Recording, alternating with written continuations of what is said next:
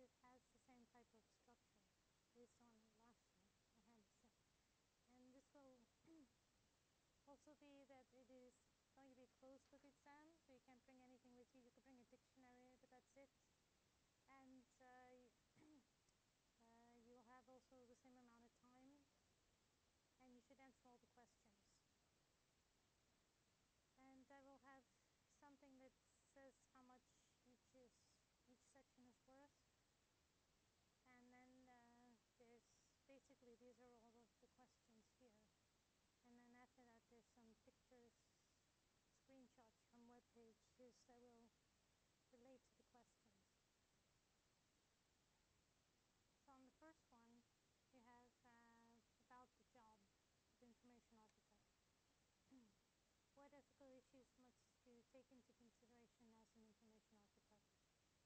Uh, so ethical issues were talked about on page 341 in the book. And uh, well, in, in, chapter 14, basically. And um, uh, basically, they mentioned the main categories of intellectual access. Um, on page 341 through like 343. So they mentioned intellectual access, labeling, categories of classification, granularity, physical access, and persistence. So these issues that we also talked about in our um, review of that chapter.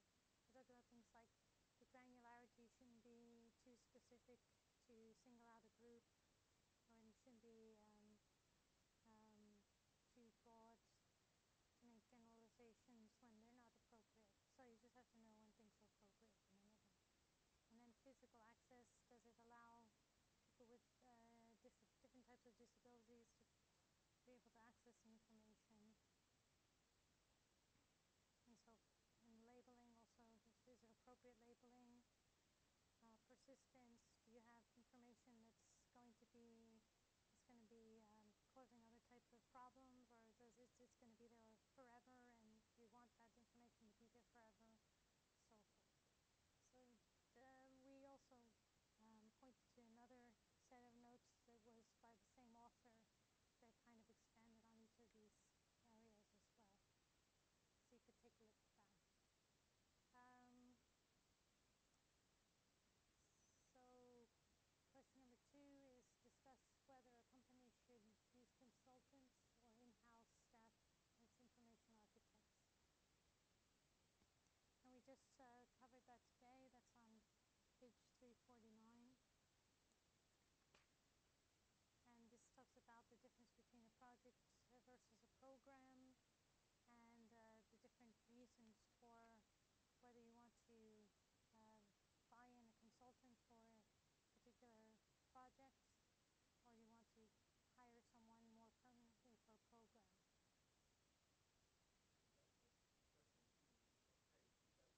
That was page 349. And around that area, 349, 350. So I'm just giving you the general area.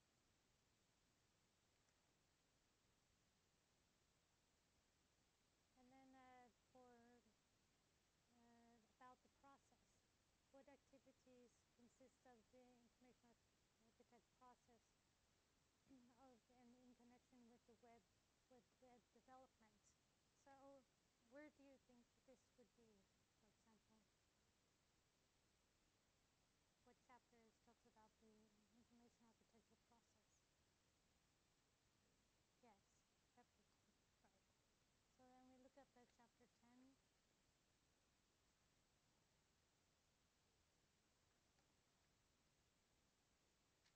And we see on page 3 and 232 is uh, figure 10.1 is the process of information architecture development. So what activities consist of the IA process? Uh, you have research, strategy, design, implementation, and administration.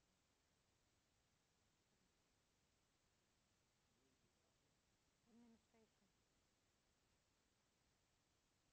and then describe some of the research methods and place them in the framework.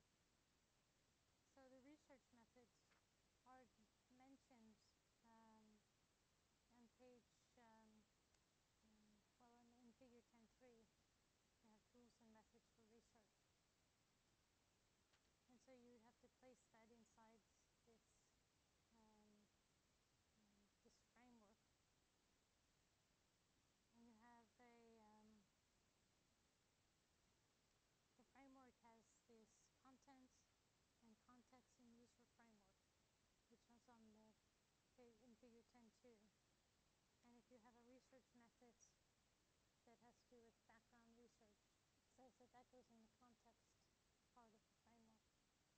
And if you have a heuristic evaluation, that's in the content part of the framework.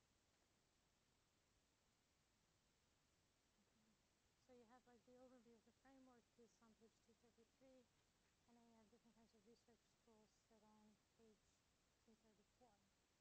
And you might think that this is uh, difficult because it's closed book, but you're going to be doing this this project.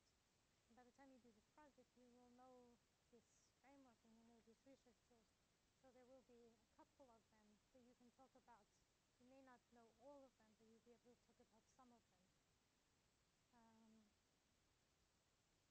so, like, um, spend time understanding your research project and probably ask the same type of questions. Although when it gets to the part about um, the website that's mentioned here, it'll be something different. It won't be exactly the same website. Um, okay, so then again, how is a strategy report normally composed and what does it contain? And this is again something that's going to be an exercise number three. You're going to write a strategy report. You're going to know what kinds of sections the strategy report contains. So the strategy report is um, described in starting from like page 280 and in that area.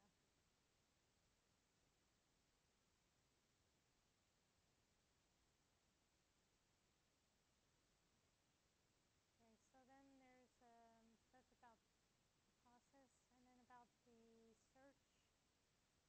Uh, which criteria are important when deciding whether a website needs internal search? Uh, this is actually a discussion that takes place on page 145. 145. And the first thing they talk about under the search systems chapter is Does your site need a search? Okay. and there's some arguments for uh, do you have enough content uh, when investing in a search divert resources from other systems, part of your navigation system? Do you have time and know how to optimize your site search? Are there better alternatives? Well, some of the alternatives might be like a sitemap or uh, glossary or uh, something like that. Um, and then the next question is, uh, what is precision and recall? How can you influence uh, this in the search engine? So precision and recall also in our notes, but also on page 159. And I made a correction the last time we talked about this on page 159. Uh, precision is the number of relevant documents retrieved divided by the total uh, documents uh, retrieved. So it should be retrieved and not in the collection.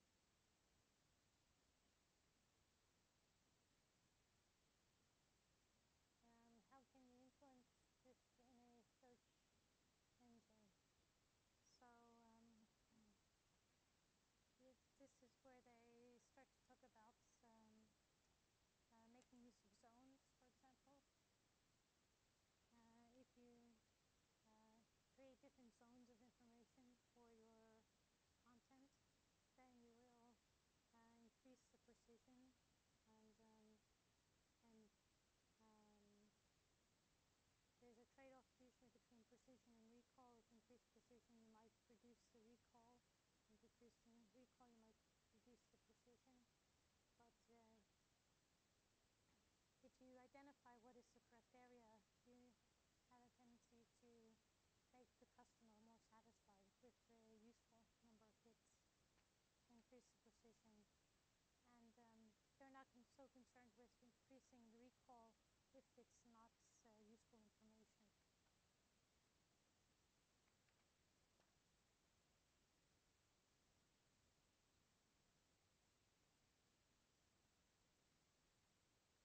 Uh, we talk about collaborative filtering on page 160, you might get that as well.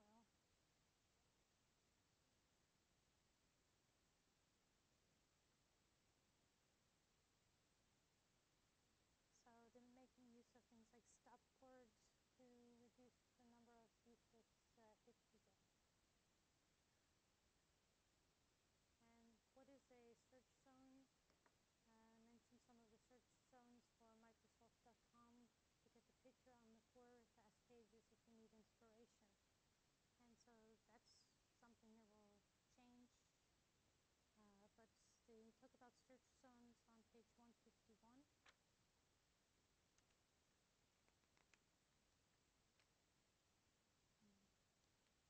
Uh, search zones are subsets the website that have been indexed separately from the rest of the site's content. When a user searches this search zone, he has a thorough inter interaction with the site, already identified himself as interested in that particular information. Ideally, the search zone is a site in a site correspond to his specific needs, and the result is improved retrieval performance. By eliminating content that is irrelevant to his need, the should retrieve fewer, more relevant results. This is increasing precision and reducing recall, but it's okay because you're reducing the, the recall that has nothing to do with what they want. So search, um, making use of search zones is important in your, in your design this way. Okay, um, destructive acts of creation. Explain what destructive act of creation means according to the book. And the authors of the book think we can avoid the problem by considering fast and slow layers in the domain of information architecture. Uh, place the different parts of IA in such a model and explain how this should influence the way we work in information architecture to avoid the problem. So this is what we talked about, um, the fast and slow layers. And um, uh, the thing is, when you have this, they talk about this um, on page 346.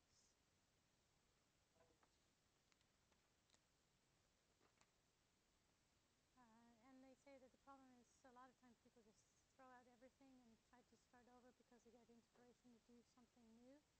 And basically that um, the stuff that they should not throw out so easily is the stuff at the bottom, that they should kind of work with this and, and have the top stuff, top stuff be able to evolve more easily. And so making use of the, the concept of understanding what areas can be easily changed and what areas cannot be easily changed will help you to not waste so much resources and make a more coherent transition.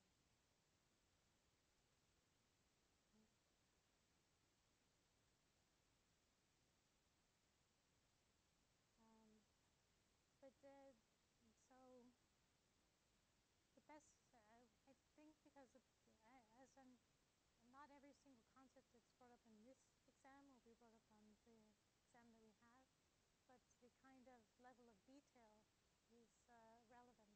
So you should say that, well, I remember we talked about this concept in the lectures, it was covered in the lecture notes, and then there's something in the chapter that talks about this, so you should be aware of the main concepts in each of the chapters that have to do with what we covered in the lecture notes. Okay, visualization, describe uh, the information architecture of the Windows XP subpart of Microsoft.com. Use the theory you have learned to find as many AI components um, systems as possible and describe them thoroughly. Uh, do you see any ways these pages can be improved? So kinds components and systems do we mean?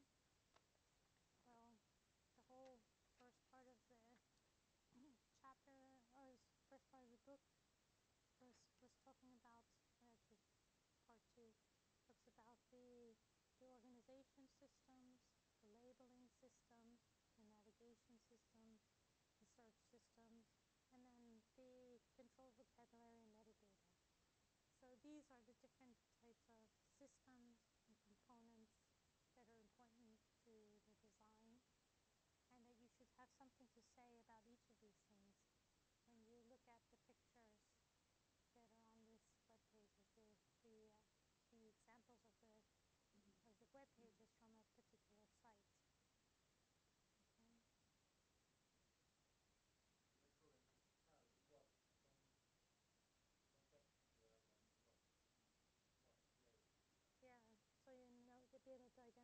differences, and that was kind of part of exercise number one. Do you recall? Yeah. Okay.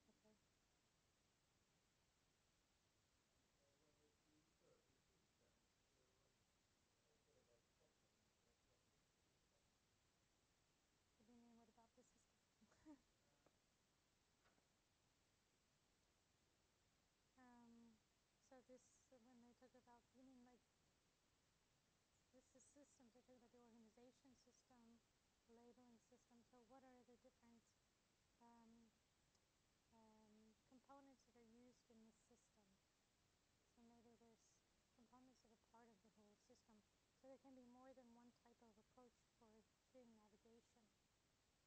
So the navigation system has to do with um, different types of um, browsing and and in inline links and in in in in page links or using the use of labels, embedded navigation, supplemental navigation. So there may be different navigation components within a navigation system. So the, the best way this is to go through part two again and see, identify the different components that are part of their system.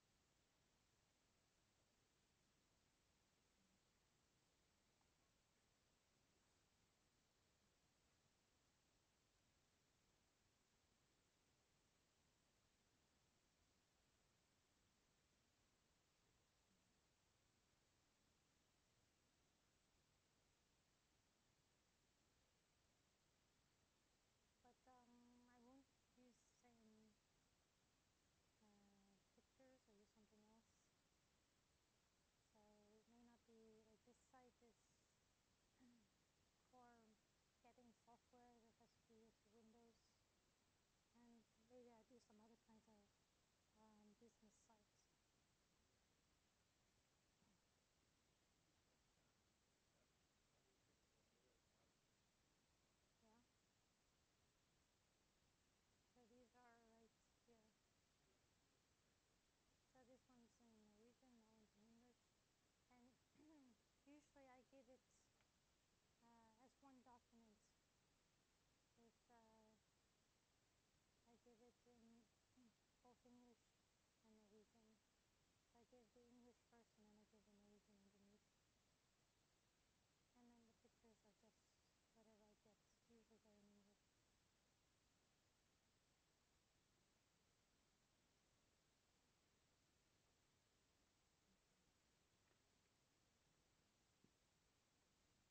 So these are, you don't need to worry about this. Uh, this was from last year. That wasn't English. But all of these other chapters are relevant.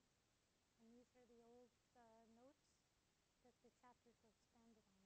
But these kind of give you an overview of each of the parts of the book. And this is the last exam. So, okay.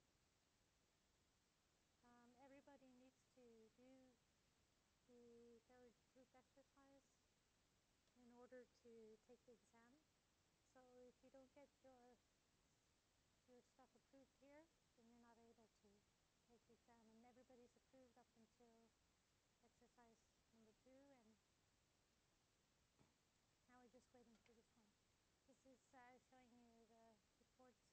So someone in group four reports on this one, just so you, it should be correct that it's pointing ahead.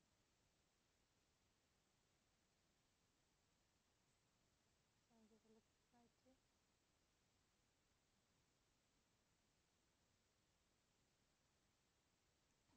And then if anyone wants to change the group, you need to switch so you have the same number of people in each group. And I hope you're talking with each other and dividing up the work. Uh, everybody's name should go on the report. So I don't want to get something that just has partial names. I need everybody's name should be on it. Okay. Yes, uh, so in between now and the 26th, if you need to get in touch with me, probably best send an